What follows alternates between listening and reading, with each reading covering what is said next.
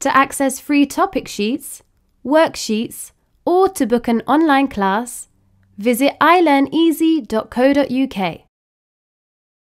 The vowels in English are A, E, I, O, and U.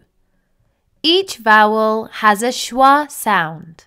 This is the unstressed sound you hear in a word.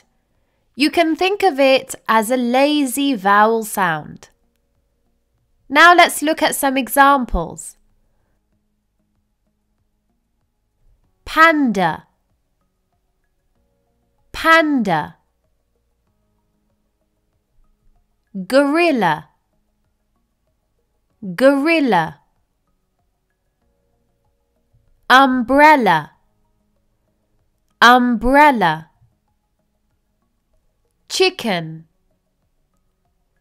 Chicken Camel. Camel.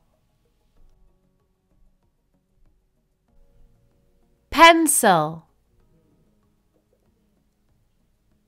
Pencil. Family. Family. Carrot. Carrot Lemon. Lemon.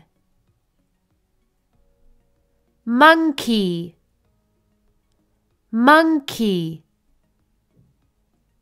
Honey. Honey.